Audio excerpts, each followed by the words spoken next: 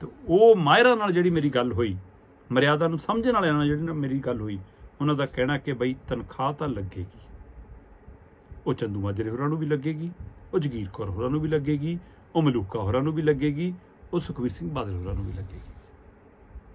ਕਹਿੰਦੇ ਜੀ, ਜ਼ਿਆਦਾਤਰ ਅਸਾਰ ਇਹੀ ਨੇ ਕਿ ਹੁਣ ਇਸ ਸਪਸ਼ਟੀਕਰਨ ਨੂੰ ਵਾਚਣ ਦੇ ਲਈ ਪੰਜ ਸਿੰਘ ਸੇਵਾਨਾਂ ਦੀ ਬੈਠਕ ਦੇ ਵਿੱਚ ਇਹ ਫੈਸਲਾ ਹੋ ਸਕਦਾ। ਬੇਸ਼ੱਕ ਮੀਡੀਆ ਨਾਲ ਗੱਲ ਨਹੀਂ ਕੀਤੀ ਸੁਖਵੀਰ ਬਾਦਲ ਨੇ, ਪਰ ਜਥੇਦਾਰ ਸਾਹਿਬ ਨੇ ਮੀਡੀਆ ਨਾਲ ਗੱਲ ਕੀਤੀ। ਜਥੇਦਾਰ ਸਾਹਿਬ ਨੇ ਕਿਹਾ ਕਿ ਸਪਸ਼ਟੀਕਰਨ ਆ ਗਿਆ। ਹੁਣ ਅਸੀਂ ਪੰਜ ਸਿੰਘ ਸੇਵਾਨਾਂ ਦੀ ਬੈਠਕ ਬੁਲਾਵਾਂਗੇ, ਉਹਦੇ ਵਿੱਚ ਇਹਨੂੰ ਵਿਚਾਰਾਂਗੇ ਤੇ ਵਿਚਾਰਨ ਤੋਂ ਬਾਅਦ ਮਰਿਆਦਾ ਅਨੁਸਾਰ ਅਗਲੀ ਕਾਰਵਾਈ ਕਰਾਂਗੇ, ਅਗਲਾ ਫੈਸਲਾ ਲਵਾਂਗੇ। ਸੋ ਉਧਰ ਗੁਰਪ੍ਰਤਾਪ ਬਡਾਲਾ ਹੋਰੀ ਵੀ ਕਹਿ ਰਹੇ ਨੇ ਕਿ ਸਾਨੂੰ ਆਸ ਹੈ ਕਿ ਜਥੇਦਾਰ ਸਾਹਿਬ ਇਸ ਸਰਵਉੱਚ ਸਥਾਨ ਦੀ ਮਰਿਆਦਾ ਨੂੰ ਕਾਇਮ ਰੱਖਦੇ ਹੋਇਆਂ ਸਹੀ ਫੈਸਲਾ ਸੁਣਾਉਣਗੇ। ਸੋ ਜੋ ਵੀ ਫੈਸਲਾ ਹੋਊਗਾ ਕਹਿੰਦੇ ਸਾਨੂੰ ਮਨਜ਼ੂਰ ਹੋਊਗਾ।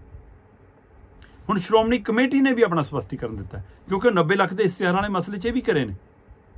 ਕਿ ਡੇਰਾ ਸਿਰਸਾ ਮੁਖੀ ਗੁਰਮੀਤ ਸਿੰਘ ਰਾਮ ਰਹੀਮ ਨੂੰ ਮਾਫੀ ਵਾਲੇ ਮਸਲੇ ਤੇ ਜਿਹੜੇ ਇਸ਼ਤਿਹਾਰ ਜਾਰੀ ਕੀਤੇ ਗਏ ਸੀ ਉਹਨਾਂ ਦਾ ਸਾਰਾ ਖਰਚਾ ਸ਼੍ਰੋਮਣੀ ਕਮੇਟੀ ਦੀ ਗੋਲਖ ਚੋਂ ਕਰਾਇਆ ਸੀ। ਸੋ ਹੁਣ ਉਹ ਵੀ ਉਹਨਾਂ ਨੇ ਵੀ ਸਪਸ਼ਟੀਕਰਨ ਦਿੱਤਾ ਉਹਦੇ ਉੱਤੇ ਵੀ ਨਜ਼ਰ ਹੋਣੀ ਹੈ। ਸੋ 1 ਜੁਲਾਈ ਨੂੰ ਚੰਦੂ ਮਾਜਰੇ ਹੋਰੀ ਪੇਸ਼ ਹੁੰਦੇ ਨੇ ਤੇ ਉਹ ਆਪਣਾ ਸਪਸ਼ਟੀਕਰਨ ਮਾਫੀਨਾਮਾ ਦੇ ਕੇ ਆਉਂਦੇ ਨੇ। 15 ਜੁਲਾਈ ਨੂੰ ਪੰਜ ਸਿੰਘ ਸੇਵਾਨਾਂ ਦੀ ਬੈਠਕ ਹੁੰਦੀ ਹੈ ਤੇ ਜਿਸ 'ਚ 15 ਦਿਨ ਦਾ ਸਮਾਂ ਦਿੰਦੇ ਸੁਖਬੀਰ ਬਾਦਲ ਨੂੰ ਤਲਬ ਕੀਤਾ ਜਾਂਦਾ। ਤੇ 15 ਦਿਨ ਦਾ ਸਮਾਂ 30 ਜੁਲਾਈ ਨੂੰ ਮੁੱਕਣਾ ਸੀ। ਆ ਲੰਘੇ ਦੋ ਕੁ ਦਿਨ ਪਹਿਲਾਂ ਜਥੇਦਾਰ ਸਾਹਿਬ ਕਿਤੇ ਬਾਹਰ ਸੀ ਕੱਲੇ ਰਾਤ ਪਰਤੇ ਆ ਤੇ ਕੱਲੇ ਟਵੀਟ ਦੇ ਉੱਤੇ ਹੈ ਜਾਂ ਜਾਣਕਾਰੀ ਮੀਡੀਆ ਦੇ ਹਵਾਲੇ ਨਾਲ ਇਹ ਦਿੱਤੀ ਗਈ ਕਿ ਅਸੀਂ ਕੋਰ ਕਮੇਟੀ ਭੰਗ ਕਰਤੀ। ਸੋ ਕੋਰ ਕਮੇਟੀ ਭੰਗ ਹੋਣਾ ਤੇ ਜਥੇਦਾਰ ਸਾਹਿਬ ਦਾ ਸ਼੍ਰੀ ਅਕਾਲ ਤਖਤ ਸਾਹਿਬ ਪਹੁੰਚਣਾ, ਇਹ ਦੋ ਚੀਜ਼ਾਂ ਸੰਕੇਤ ਕਰ ਰਹੇ ਨੇ ਕਿ ਸੁਖਬੀਰ ਬਾਦਲ ਅੱਜ ਕੱਲ੍ਹ 'ਚ ਪੇਸ਼ ਹੋਣ ਵਾਲੇ ਆ।